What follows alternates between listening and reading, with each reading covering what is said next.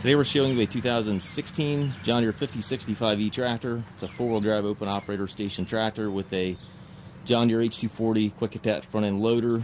Uh, tractor is, or I'm sorry, the loader is plumbed for a uh, third function. Uh, it's got the button right on the joystick to operate, operate that third function so you can easily hook a grapple, bale squeeze, anything to that nature up front here. Uh, it's got the John Deere style hookup for your bucket connection.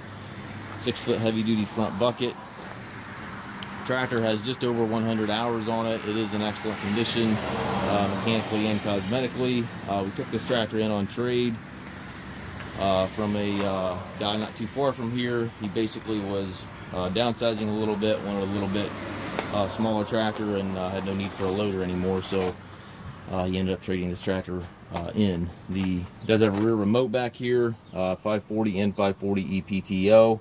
Has the stabilizer bars on both sides, which is a nice feature.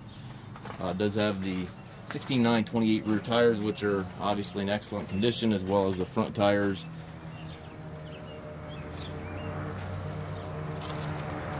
It's got the 12-12 power reverser transmission. You have uh, reverse level right up here in the uh, steering column. Can change direction without clutching. Uh, 12 speeds in the transmission, three ranges on this lever, uh, four gears on this lever here, and then the loader control right here, again with that button right there to operate that third function.